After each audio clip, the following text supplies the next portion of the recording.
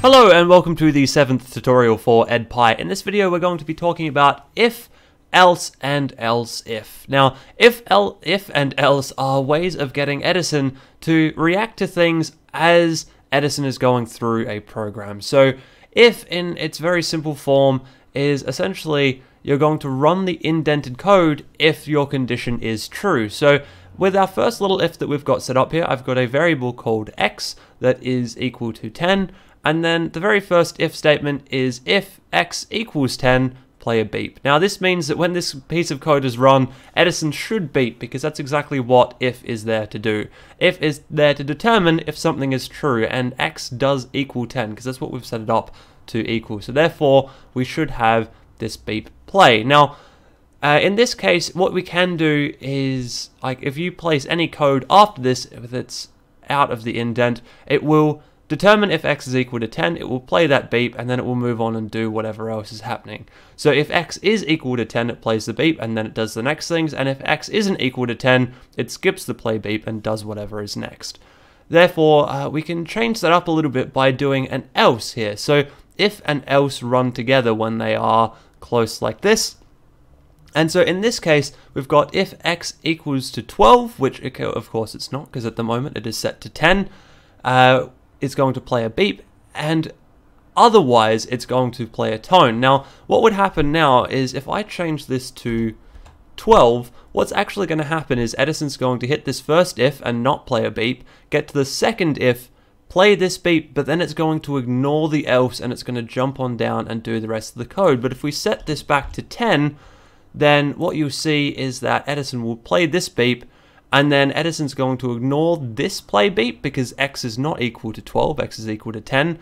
Uh, so it's going to do the thing in the else case, which is the play tone. So we'd get a beep and then get an A for two seconds. That's a, it's a long A, so it's very easy to distinguish the difference between the play beep and the tone. Moving on down, this stuff gets a lot more powerful when you actually use it to read the sensors, Edison sensors, and work out what's going on outside and get Edison to react to different things in different ways. So I've got a very quick example here where this time I set X equal to read IR data. Now this means that if Edison has received data from a different Edison, it's going to store whatever that data was into X. So this means that if the data that we've received from this other Edison is a 1, we're going to play a beep. Else if, so else if is where you want to do an else case, so we don't want x equal to 1, uh, where it's not equal to 1, but we also want to check if it's equal to something else. So this is a this basically is an if where you've got x equals to 2, but also x is not equal to 1, because of course if x was equal to 1, it would do this and ignore everything else and jump down further, whereas else if is basically x is not equal to 1, but x is equal to 2. And I can keep adding else ifs down the line. And basically what an else if means is whatever condition you put here and also not equal to any of the conditions above it in the line. So therefore, if we got a 1, it would play a beep. If we got a 2, it would play the same tone that we've had earlier.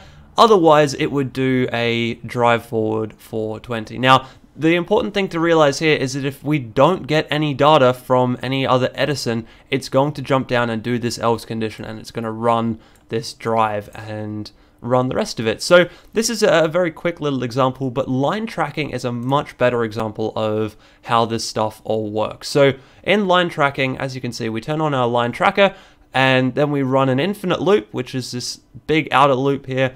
And then we say if Edison is sitting on the white line, we want to turn towards the right, basically. This is what this line means. It means to drive to the right at speed 1, and then otherwise we're going to drive to the left. So basically what happens here is that this loop happens very, very, very quickly.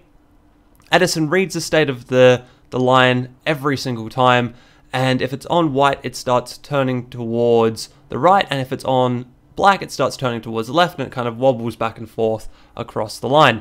So there you go. That is if and else. It's basically how to get Edison to react to the outside world. Hope you guys have enjoyed that one and we'll see you in the next video.